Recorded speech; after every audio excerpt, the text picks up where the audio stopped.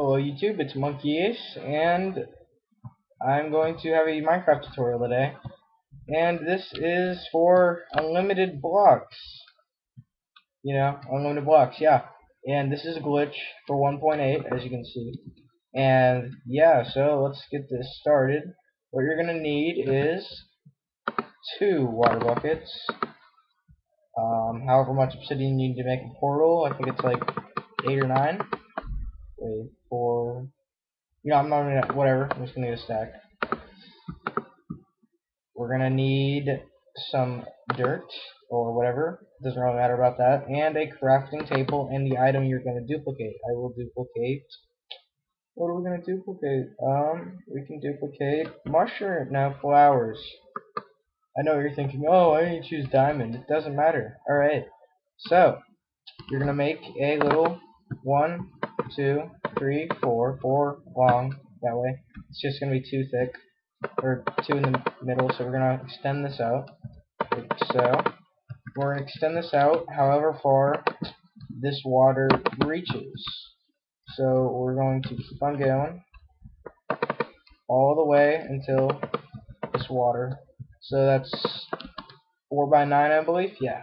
So that's 4 by 9 and see the water stops and the dirt stops. So it's like a, a little imaginary chop off spot. Yeah, so here's where we're going to build our portal. So, shovel isn't necessary, but it makes it faster. There's that, there's that, there's that. So we're just going to build a portal right here. And that, wait, no, no, no. Yeah, so build a portal right here. So, one, two, three, four. One, two, three, four. And one, two, three, four. Okay, there. And gonna finish this portal off, and I need to get some flint and steel. Forgot to mention that. There's fire, but where's flint and steel? It really doesn't matter. Just use flint and steel in your single player world. Bam, portal. Oh yeah, I have sound turned off. That's because music started playing earlier. But I could just turn the music down, but whatever. So then we got our thing, and it stops right at the portal. I'm going to put our crafting table right here. Alright? So, we duplicate our flower. So we're going to jump down,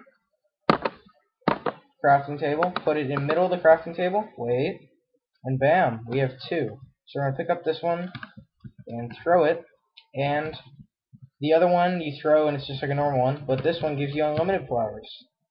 Unlimited flowers. Yep, so use it before it gets patched. Unlimited flowers. Yeah, I can make a whole garden, man. It's pretty intense.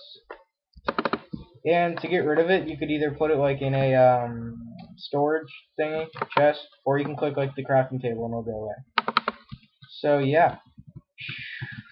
Ooh. Yeah, see, now we got ourselves a nice little floating. Alright, you guys get the point. Well, thanks for watching.